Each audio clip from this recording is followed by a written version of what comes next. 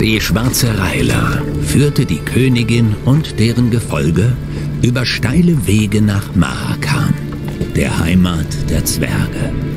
Dort warteten jedoch nicht nur schneebedeckte Gipfel auf sie. Reila, du bringst Fremde. Gabor, darf ich vorstellen? Maeve, Königin Lyriens und Riviens. Ah, eine Königin. Alle Wetter. Tja, also ein großer Schatten strich über den Himmel. Der Zwerg sparte sich den Rest der Begrüßung und alle blickten hinauf zu dem Drachen, der zügig auf den Carbonberg zuhielt. Keltulis, keine Pange. Er stellt keine Bedrohung für uns dar. Der Zwerg hatte die Stille sanft durchbrochen. Ihm war der ungewöhnliche Anblick vertraut. Und nun, den Platz, bevor der Eintopf kalt wird. Ich? Aber wieso? Drache? Verdammtes Wunder, nicht wahr? Man bedauert fast, dass die Echsen aussterben. Solltest du nicht um deinesgleichen besorgt sein? Die Kreatur setzt doch ganz Mahakam in Flammen. Keltulis hat doch seit Jahrhunderten keiner Zwergenseele was getan. Majestät, wollt ihr kosten? Nein, danke. Ich weiß das natürlich zu schätzen, guter Zwerg. Ach, nennt mich einfach Gabor, bitte. Bin entzückt, euch kennenzulernen. Gabor hier gehört zu Mahakams Honoration. Er stammt aus einem der führenden Clans, den Zigrins. Sonst wäre er auch nicht der Fremdenführer für wichtige Gäste wie uns. Ein Vergnügen. Wie gesagt, danke für die Gastfreundschaft, aber ich habe keine Zeit zu schmausen. Ich muss mit eurem Herrscher reden. Sofort. Hm, nichts für ungut, aber unser ältester Bruder Hook ist nicht sehr gesellig, vor allem nicht bei Menschen, nicht mal bei denen mit Krone. Aber vielleicht könnte ich, falls ihr einen Brief schreiben würdet. Ihre Majestät für Demavents Siegel. Offiziell. Ah, na, das ist was anderes. Wir lassen nicht viele Menschen nach Mahakam. Aus gutem Grund. Wer durch das zweite Tor darf, muss eine Augenbinde tragen. Nachdem er seine Waffen beim ersten Tor abgegeben hat. Aber ihr habt den Bleiring, den euresgleichen als Beweis der Freundschaft trägt. So ist klar, dass wir euch als eine von uns behandeln können. Der Älteste sieht gerade bei seinen Schäfchen nach dem Rechten. Kommt, am besten sprecht ihr sofort mit ihm. Der Zwerg war zwar deutlich kleiner als die lyrischen Infanteristen, bewegte sich aber mit Leichtigkeit durch den Schnee, der ihm bis zur Hüfte reichte. Die anderen rutschten und stolperten hinter ihm her. Mewe und Reila blieben zurück um ein privates Wort zu wechseln.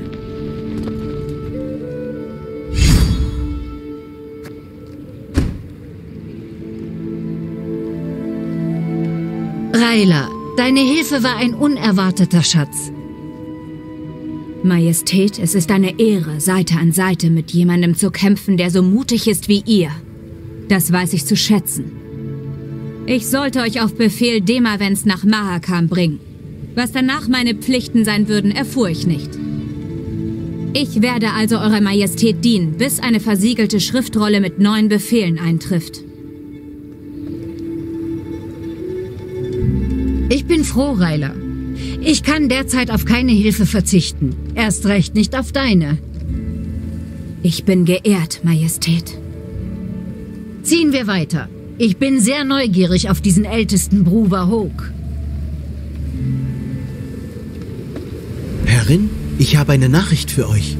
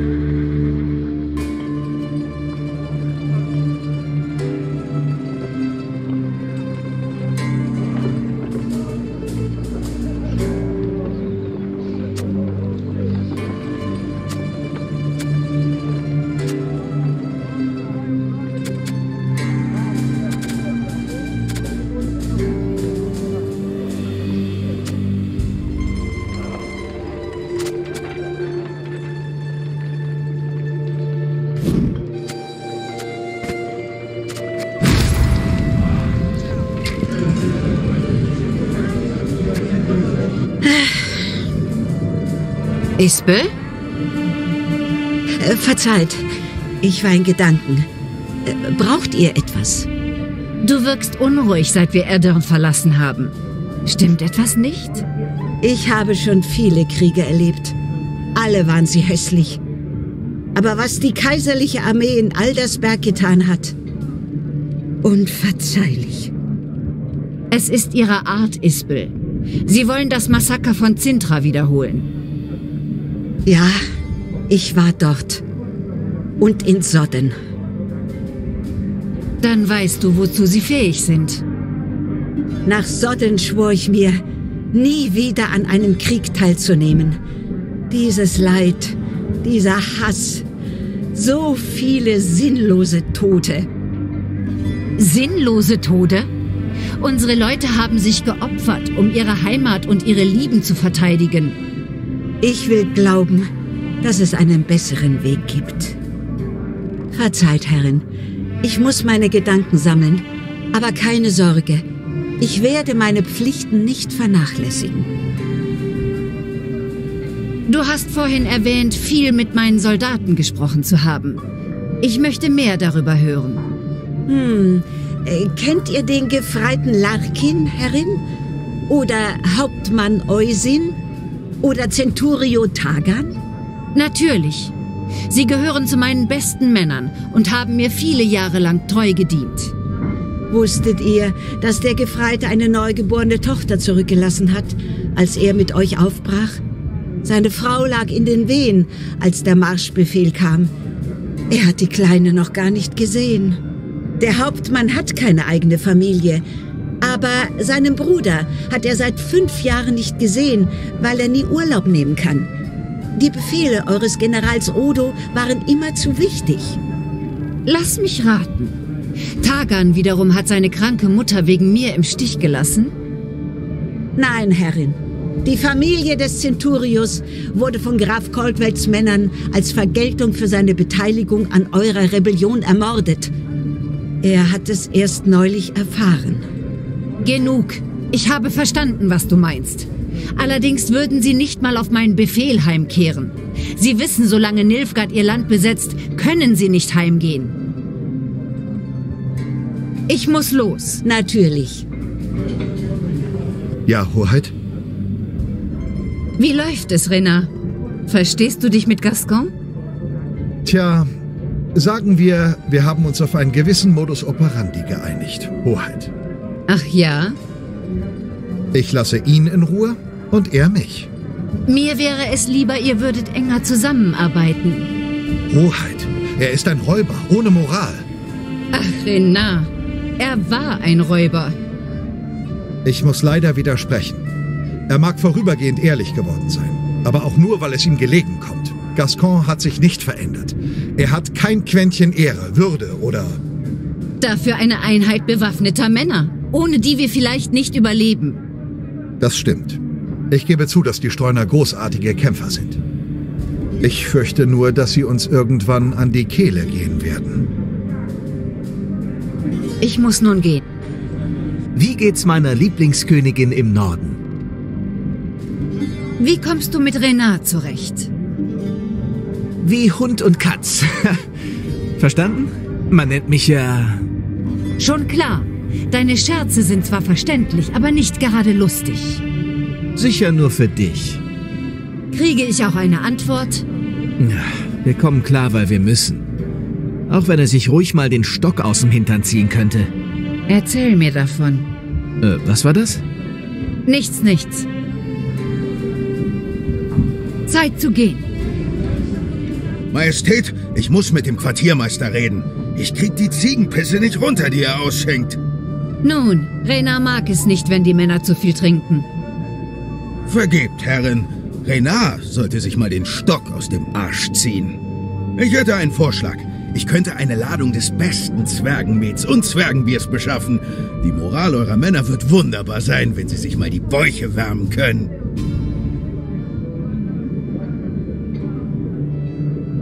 Hm, da ist was dran. Na schön, nur zu. Oh, danke, liebe Königin.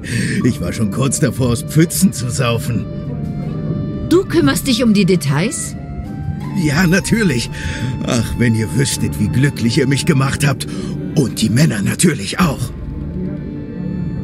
Du gehörst zum Zigrin-Clan. Einer von euch hat Okvis den Drachen erschlagen, nicht wahr?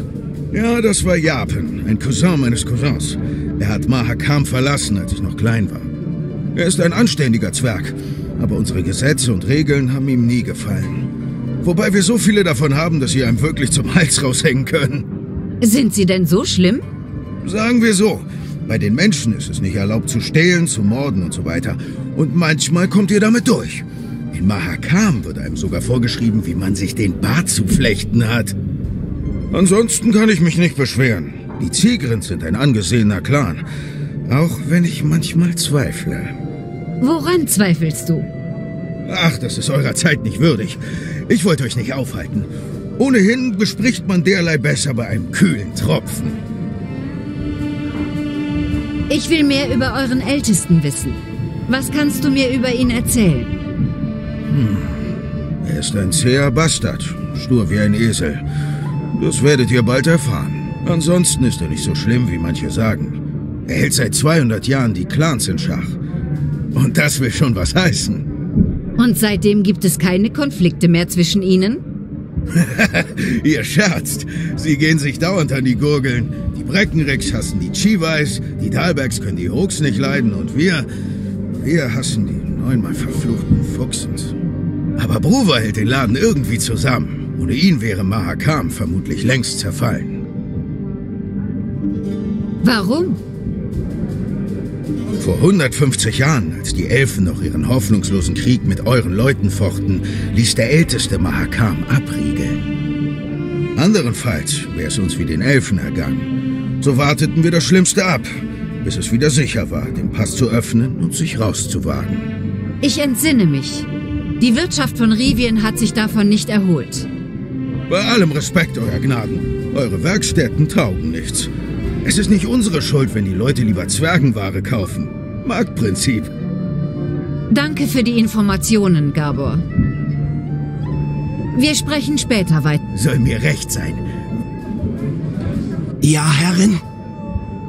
Wolltest du nicht mit deinem König gehen, Xavier? Nein, ich will lieber an der Front kämpfen, Herrin. Mit euch. Und deine Heimat? Rossberg braucht Ingenieure für den Aufbau. Ich habe in Rossberg niemanden mehr, nur noch Rache. Ich verstehe. Ich habe noch andere. Wie ihr wünscht. Ja. Demavens Grund, Aldersberg so erbittert zu verteidigen, hat mich überrascht. Mich nicht. Der König besuchte das Bordell jedes Mal, wenn wir in Aldersberg waren. Und das war oft. Ich habe ihm gesagt, dass irgendwann ein Mädchen von seiner Schlange gebissen würde. Er wollte nicht hören. Tja, ich sehe, dass du sehr viel Einblick in Demavens Privatleben hattest. Er hatte keine andere Wahl. Ich war seine Leibwächterin. Ich habe ihn immer begleitet und habe alles gesehen. Mein König genießt die Freuden des Lebens. Aber es hat seine Fähigkeit, sein Reich zu regieren, nicht beeinträchtigt. Raila, darf ich dich etwas Persönliches fragen? Ihr dürft, Herrin, aber ich weiß nicht, ob ich antworte. Nun, Nilfgaard hat mein Reich angegriffen, meine Krone geraubt, mein Volk ermordet und meinen Sohn gegen mich aufgebracht. Und doch ist mein Hass nichts gegen deine Leidenschaft, jeden Skoyatel zu töten. Ich habe eure Frage nicht gehört, Herrin. Was haben sie dir angetan, Raila? Was hat dich zu der gemacht, die du bist?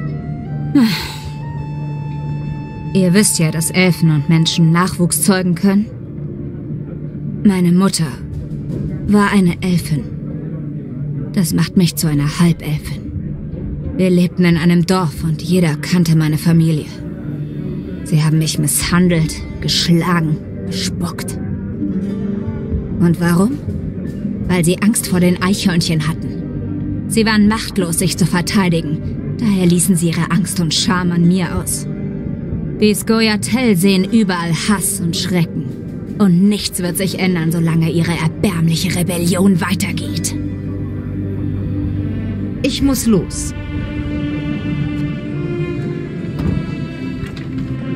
Herrin. Leb wohl, Eik.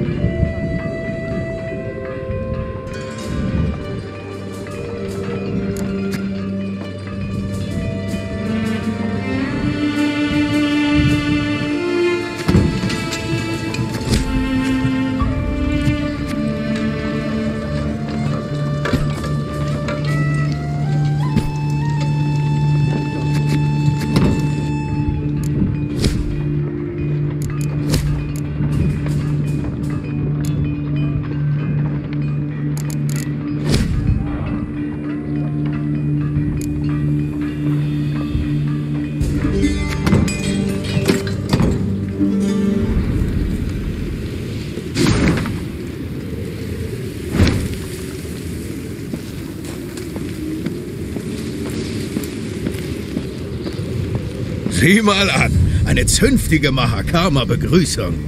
Welch Ehre. Sogar die Aberlesten sind schon ganz gespannt. Auch die. Eine Prise Prävention kann einem jede Menge Ärger ersparen.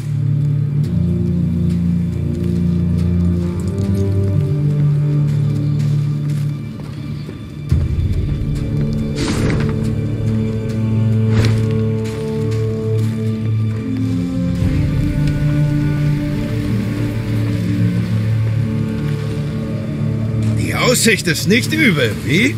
Mhm. Wenn der Wind nicht so heulen würde, würde ich sie malen.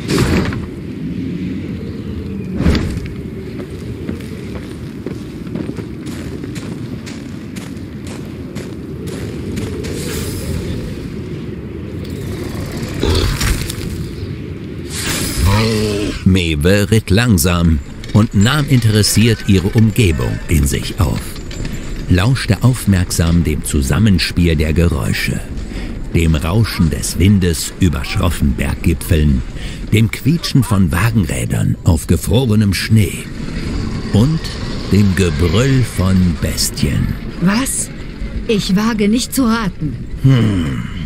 Gabor kratzte sich am Kinn. Ein Eistroll oder einer von diesen Barbegasi. Sind sie zahm? Wie der Drache? Absolut nicht. Wilde Hurensöhne sind sie allesamt.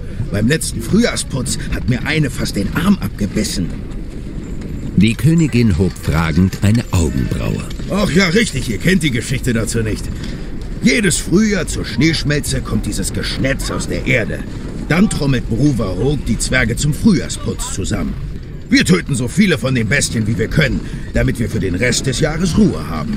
Aus dem Augenwinkel sah Mewe, wie sich ein dunkler Schatten zwischen den Felsen bewegte. Ruhig zog sie das Schwert und schwang es, um sich die steifen Arme aufzuwärmen. Es ist wohl an uns, euch beim Frühjahrsputz zu helfen. Lyria, an die Waffen! Auf den Kampf vorbereiten!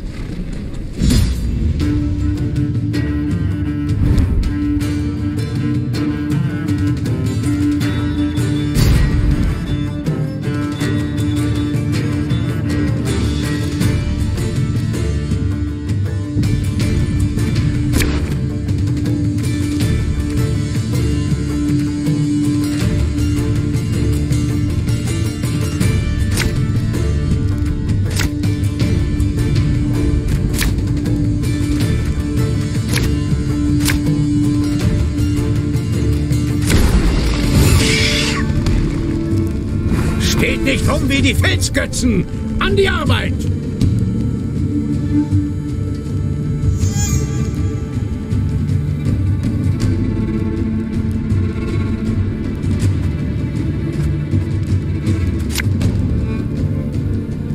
Verliert nicht den Kopf.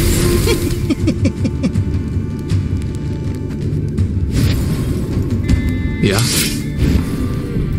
Ein Bolzen. Mehr brauche ich nicht.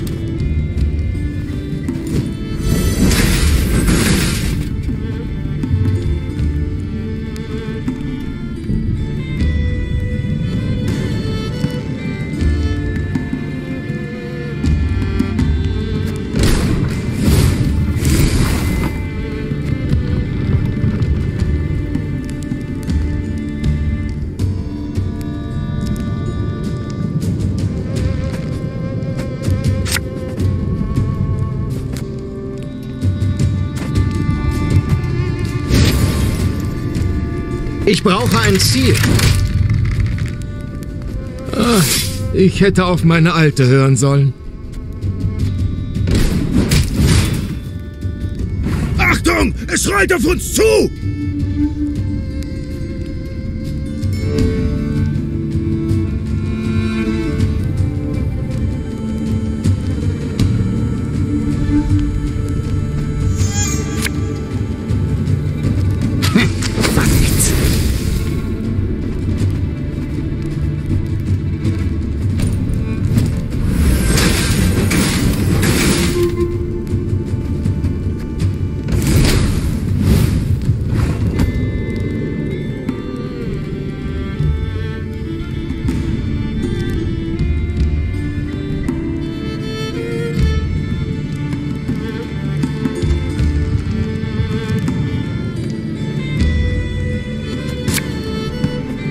Zu Diensten. Also ich verlange eine Erklärung.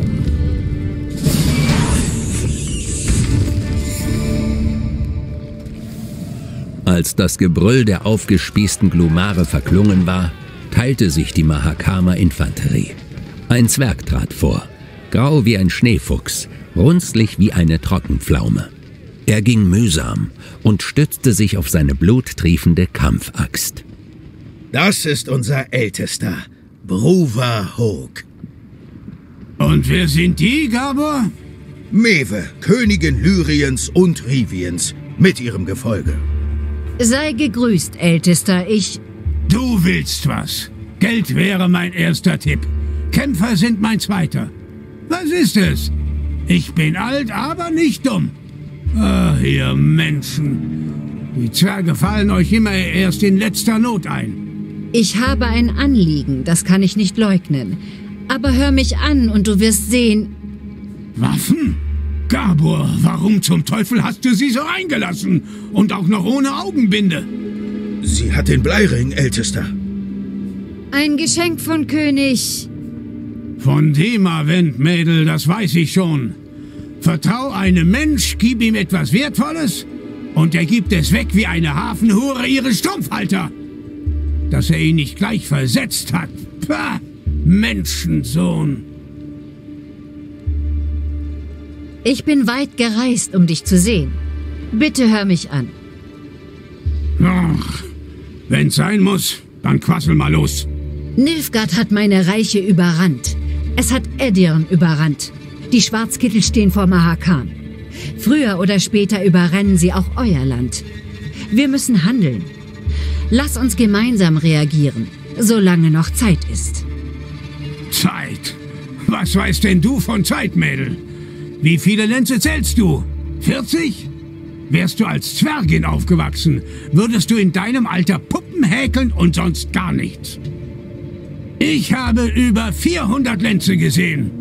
Ältester bin ich seit 200. Weißt du, was ich in der Zeit gelernt habe? Es ist niemals eine gute Idee, sich um eure beknackten Streitereien zu kümmern. Normalerweise hätte ich euch alle hochkant wieder rausgeworfen aus dem Land, das ich liebe. Aber du hast den Bleiring, der dir Gastfreundschaft gewährt. Und in Mahakam sind Recht und Gesetz heilig.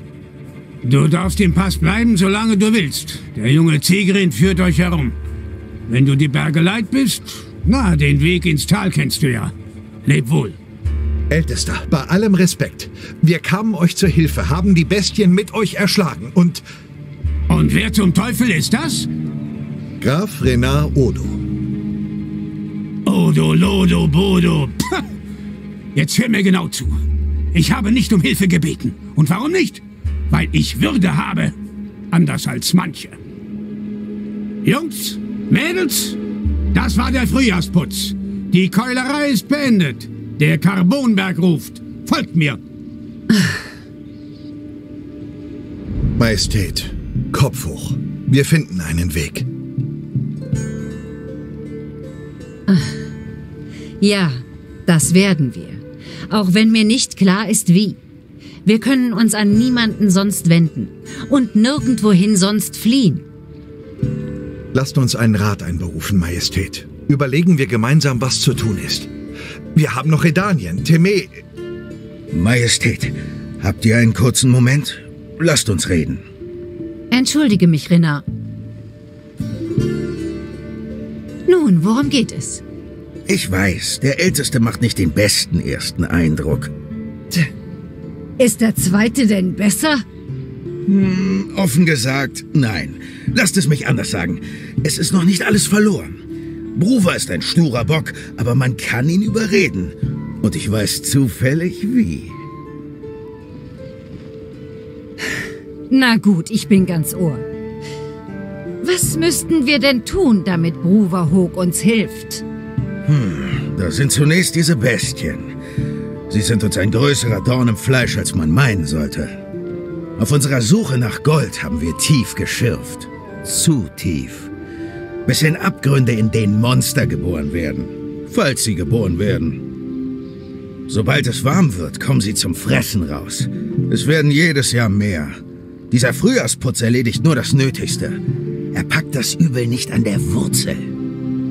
Wir töten im Frühling genügend, um einigermaßen leben und Handel und Bergbau treiben zu können. Aber in den oberen Tälern lauern noch viel mehr. So viele, dass wir die Siedlungen dort aufgeben mussten. Mir ist immer noch nicht klar, was das für mich und Bruva heißt. Majestät, erschlagt die Bestien samt und sonders. Dann gewinnt ihr das Herz der Clans, aller Clans. Und dann wird dem Ältesten keine Wahl bleiben. Er wird euch zuhören und für voll nehmen. Es gibt zwei Orte, an denen die Bestien besonders zahlreich sind. Davos Abgrund und eine verlassene Untergrundsiedlung namens Boros Rumpf. Erschlagt sie, lasst die Tunnel einstürzen. Fertig. Und das würde reichen? Ich glaube schon. Aber wenn ihr andere Wege findet, das Herz eines Clans oder von Bruver selbst zu gewinnen, kann das nicht schaden. Hm, klingt mühselig. Aber immer noch besser als ein weiterer verlorener Monat auf der Suche nach einem Hof, der uns erst willkommen heißt und dann abweist. Ich danke dir, Gabor. Du hast mir eine Möglichkeit aufgezeigt. Also gut, überlegen wir, wie wir diesen Bestien beikommen.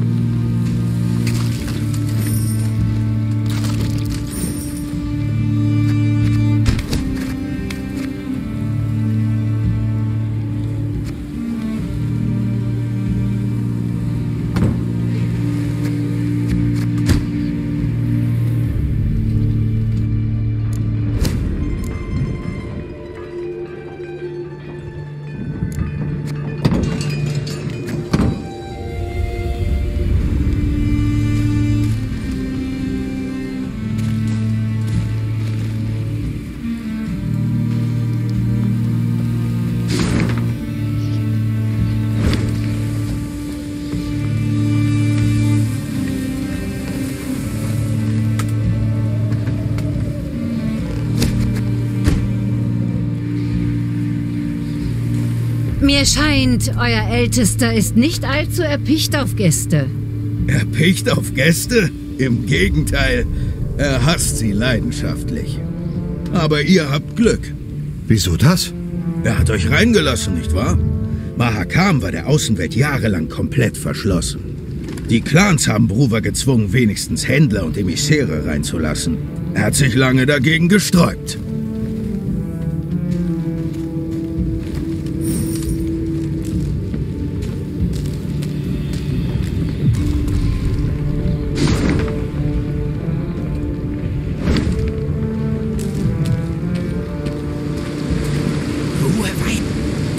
Verscheust die Fische!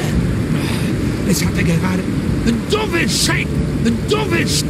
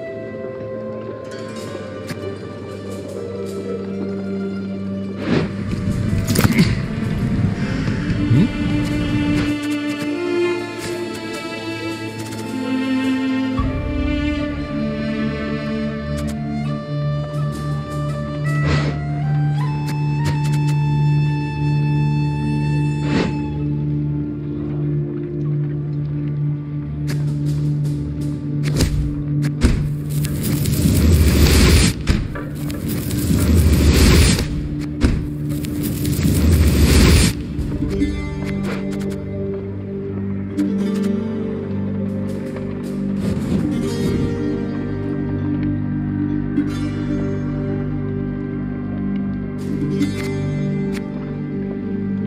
you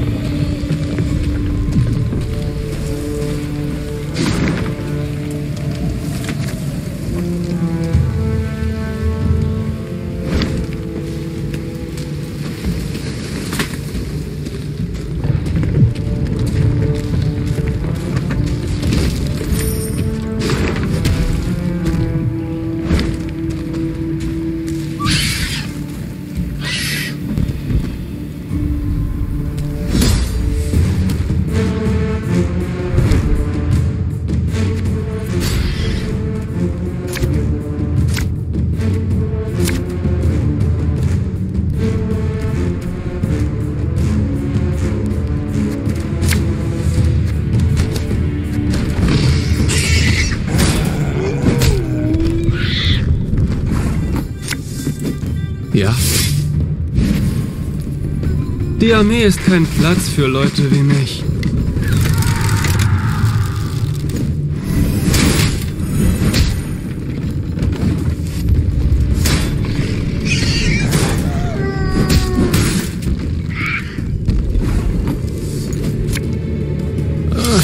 Ich hätte auf meine Alte hören sollen.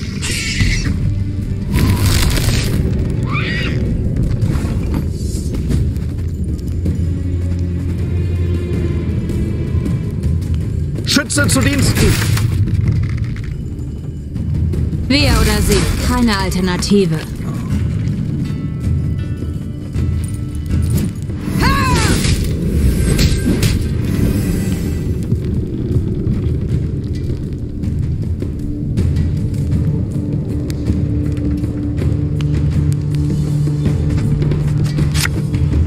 Rüstung wird Ihnen nicht helfen.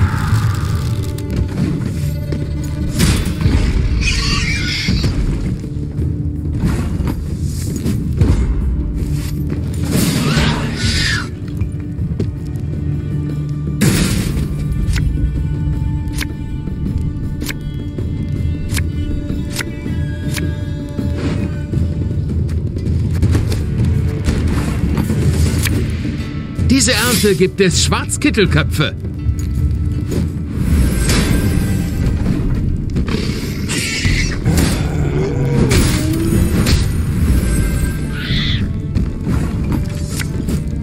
Verliert nicht den Kopf.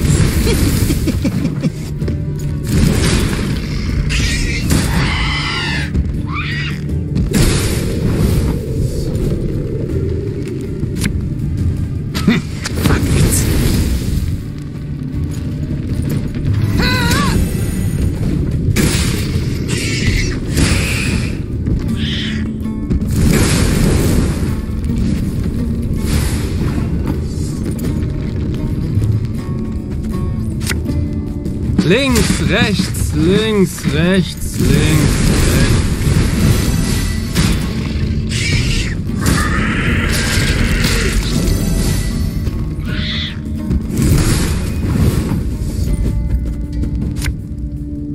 Wieder und wieder und wieder.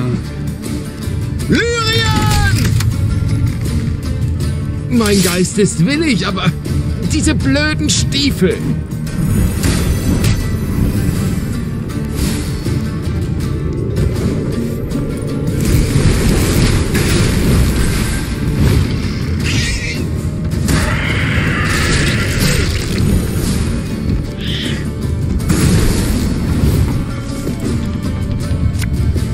Die Armee ist kein Platz für Leute wie mich.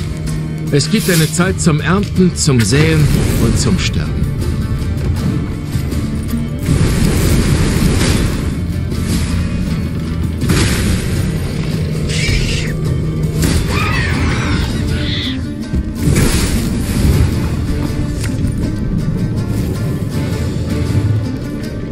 Ein Bolzen. Mehr brauche ich nicht. Links, rechts, links, rechts, links, rechts.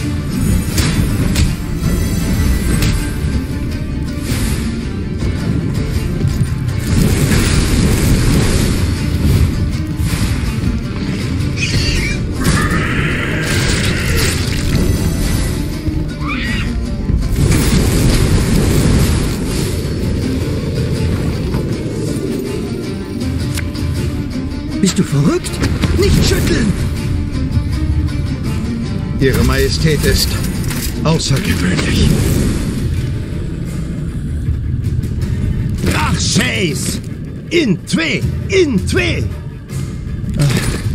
Und wieder an die Front.